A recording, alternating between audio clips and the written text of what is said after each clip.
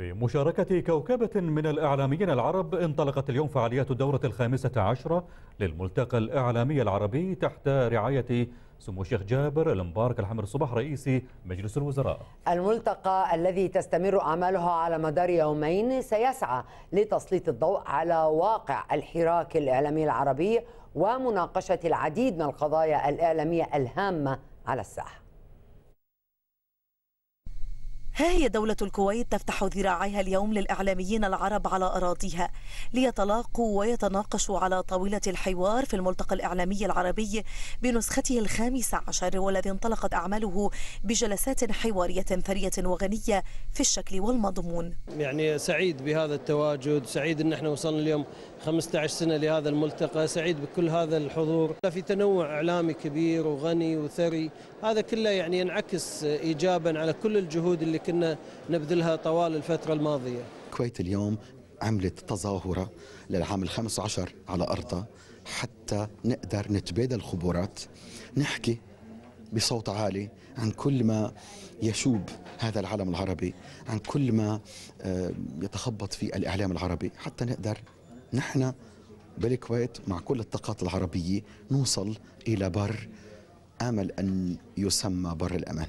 أصبح الملتقى الإعلامي العربي منصة هامة لكل الإعلاميين العرب الذين يحرصون على التواجد في هذا الحدث الإعلامي الكبير الذي سيسلط الضوء على مواضيع إعلامية شتى جديدة وملحة. في وقتنا الراهن. يمثل فرصة أولا لزيارة الكويت التي نحب ولقاء زملاء إعلاميين من مختلف البلدان العربية من قنوات ومنابر إعلامية متعددة ومتنوعة من اتجاهات ومدارس إعلامية أيضا مختلفة. ففرصة للاستماع إليهم للتعرف عن قرب لتجاربهم. يضيف الكثير للحقيقة إلى الإعلامي وإلى مسيرته الإعلامية وإلى خبراته وإلى انتشاره.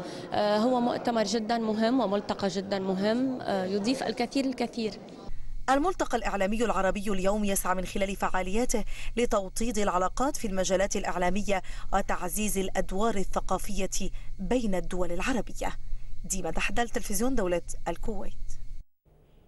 هي قمة إعلامية عربية تقام على أرض دولة الكويت. هو الملتقى الإعلامي العربي الكويتي للمزيد حول هذا الموضوع. تنضم إلينا عبر الهواء الزميلة موفدة تلفزيون دولة الكويت إلى هناك فاطمة الكندري. مساء الخير فاطمة.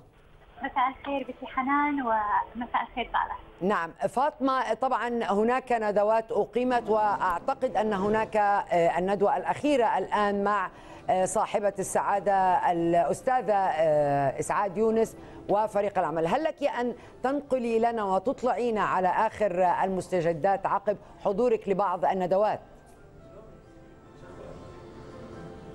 بالفعل حنان عقدت اليوم خمس جلسات حوارية في هذا الملتقى الإعلامي العربي بنسخته الخامسة عشر وتضمنت هذه المحاور أو تضمنت هذه الجلسات عددا من المحاور الهامة التي يهتم بها الإعلام العربي. من بينها موضوع المرأة والإعلام وثورة التطبيقات بالإضافة إلى موضوع الراديو والفن والإعلام.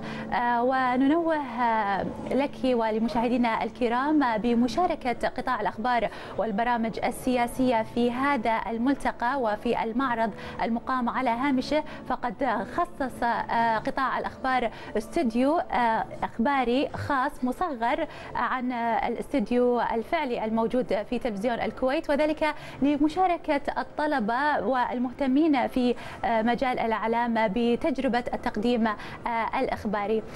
ونستضيف هنا في المعرض الأستاذة رانيا باقر الأكاديمية وفي قسم الإعلام بجامعة البحرين. أهلا بك أستاذة رانيا. معنا وحياك الله بديت الكويت أستاذة رانيا نود أن نعرف دور الإعلام في تنمية المجتمعات طبعا هو دور كبير. ممكن أن تكلمينا عن هالموضوع؟ طبعا من لما بدأ دور وسائل الاتصال والإعلام وهنالك دراسات كثيرة تتناول عن دور تتناول دور وسائل الإعلام في تنمية الفرد وتنمية المجتمع. وكثير من النظريات تناولت كيف يسهم المجتمع في أو كيف يسهم الإعلام في تطور المجتمع. الإعلام اليوم آه، طبعا امتداد للإعلام السابق وأيضا آه، إضافات كثيرة أضيفت للمجال الإعلامي، نتحدث عن تطبيقات الإنترنت، نتحدث عن شبكات التواصل الاجتماعي بالإضافة إلى الإعلام التقليدي اللي هو الراديو والتلفزيون. طبعا الإعلام يساهم في تنمية الأفراد وبالتالي الفرد عندما يتغير، الفرد عندما يتطور من ناحية آه، طبعا الابتعاد عن سلوكيات آه، ضارة بالمجتمع أو تبني سلوكيات و توجهات مفيدة للمجتمع فالمجتمع يتطور نعم. مثل ما قلت هنالك الكثير من الدراسات والنظريات الإعلامية التي تناولت دور وسائل الإعلام في غرس آه، مفاهيم آه، إيجابية تجاه المجتمع دور الفرد في بناء المجتمع دور الفرد في تكوين الرأي العام أيضا الذي يؤثر في تطوير المجتمع من خلال تبني قضايا مهمة جدا لهذا المجتمع آه نعم. أستاذة رانيا في أحد الجلسات الحوارية تناولت موضوع آه نساء في واجهة الإعلام. آه ما من وجهة نظرك ما هو دور المرأة العربية في الإعلام أو صورة المرأة العربية في الإعلام؟ للأمانة المرأة ووجودها في الإعلام كان منذ البدايات. أعرف تمام المعرفة بأن القطاع الإعلامي في الكويت آه، بني على يد سيدات آه، فاضلات. آه، وأيضا في البحرين النساء شاركت في بداية الإذاعة ومنذ بداية التلفزيون. المرأة أنا أنا ما أحب التصنيفات المرأة نصف المجتمع ولا ربع المجتمع، المرأة مكون أساسي في المجتمع. قضايا المرأة هي قضايا المجتمع. لذلك فوجود المرأة في الإعلام اليوم وحتى سابقا هو عبارة عن وجود كحق أصيل. هي موجودة في إعداد البرامج، هي موجودة في تقديم البرامج.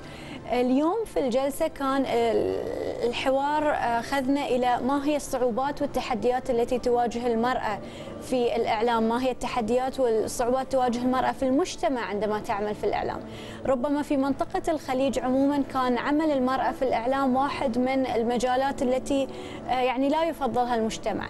مثل الفن. لكن اليوم نجد بأن المرأة الإعلامية هي موجودة في الإعداد في الإخراج في التصوير ووجودها مهم جدا لأنها تعكس أيضا حال المجتمع تعكس المشاكل والقضايا اللي موجودة في المجتمع.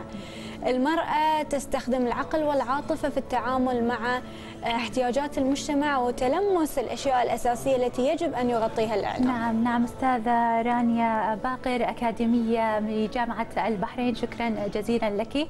آه، مشاهدينا الكرام ننوه أنه في تمام الساعة, الساعة الثامنة مساء. آه، سيتم حفل الافتتاح لهذا الملتقى الإعلامي العربي في نسخته الخامسة عشر. شكرا جزيلا لكم وعودة للزملاء في الاستوديو. شكرا لموفد التلفزيون دولة الكويت الزميلة فاطمة الكندري ونؤكد أيضا أن ملتقى الإعلام العربي هو ملتقى بين الشباب الجدد وبين الخبرات الإعلامية لأن دائما تعلمنا من الإعلام أن يكون حلقة تواصل بين الكبير ليتعلم منه الصغير. وننتقل حضراتكم إلى تفاصيل النشرة السياسية